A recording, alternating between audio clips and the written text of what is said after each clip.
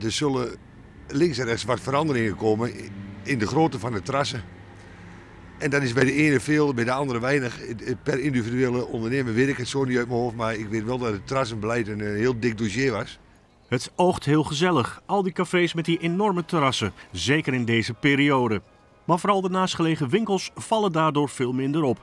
En dat merken ze aan de omzet. Ik heb uh, natuurlijk in de praktijk allerlei voorbeelden van klanten die ons ineens niet meer weten te vinden. Ons pand was heel erg prominent aanwezig, maar wordt nu toch verstopt. Maar er zijn ook echt feiten waaruit blijkt dat de, de traffic, de um, bezoekersstromen voor mijn winkel enorm verminderd zijn. Negen jaar geleden was dit echt de hotspot van Hengelo, waar de meeste bezoekers gemeten werden door locatus. En negen jaar later is dat gewoon echt 60% minder. Van Kleef is dan ook blij dat er, na jaren overleg en uitstellen, nu eindelijk duidelijkheid is. En dat geldt ook voor de horeca-ondernemers. Alhoewel ze liever hadden gezien dat de regels later in zouden gaan. Wij waren van mening dat er uh, vooral bij sommige ondernemers nogal drastische veranderingen uh, toegepast werden. En we hebben we geprobeerd om tegen te houden, maar dus zonder succes.